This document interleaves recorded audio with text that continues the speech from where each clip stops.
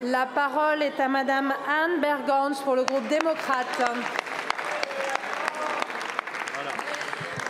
Madame la Présidente, Mesdames et Messieurs les ministres, chers collègues, ma question s'adresse à Madame Charlotte Caudel, secrétaire d'État auprès de la Première ministre chargée de l'enfance.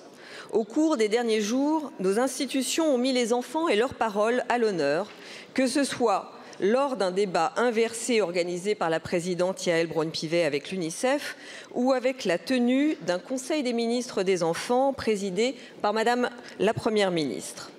Ces événements sont la preuve de la volonté du gouvernement d'obtenir de réelles avancées sur la protection de l'enfance. La création d'une délégation parlementaire aux droits de l'enfant le 13 septembre dernier, présidée par notre collègue Perrine Goulet, démontre cette volonté d'être à l'écoute de la parole de la jeunesse. Cependant, si des progrès significatifs ont été réalisés ces dernières années, beaucoup reste à faire. Un rapport de l'UNICEF paru dimanche dernier à l'occasion de la Journée internationale des droits de l'enfant fait état d'une situation alarmante. Un enfant meurt tous les cinq jours suite à des violences très majoritairement intrafamiliales. Oui, vous avez bien entendu, un enfant meurt tous les cinq jours en France.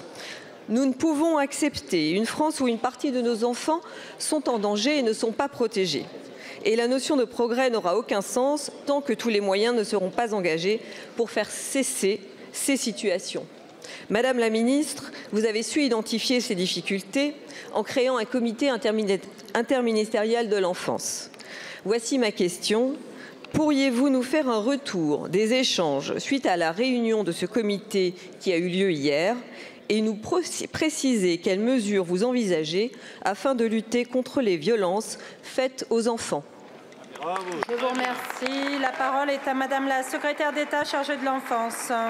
Madame la présidente, Madame la députée Bergans, Mesdames et Messieurs les parlementaires, violence sur les enfants, santé mentale, danger sur le numérique, oui, un certain nombre de signaux restent extrêmement alarmants. L'enfance est donc une priorité du quinquennat, le président l'a affirmé. Le Parlement et le gouvernement sont pleinement mobilisés, vous l'avez rappelé.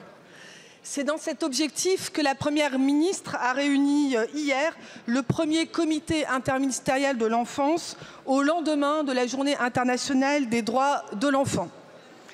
Avec l'ensemble des ministres concernés, la Première ministre a déterminé cinq chantiers prioritaires et une quarantaine de mesures dont il m'appartiendra d'assurer le suivi et la coordination.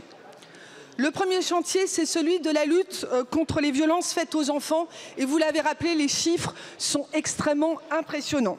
Le ministre de l'Intérieur, Gérald Darmanin,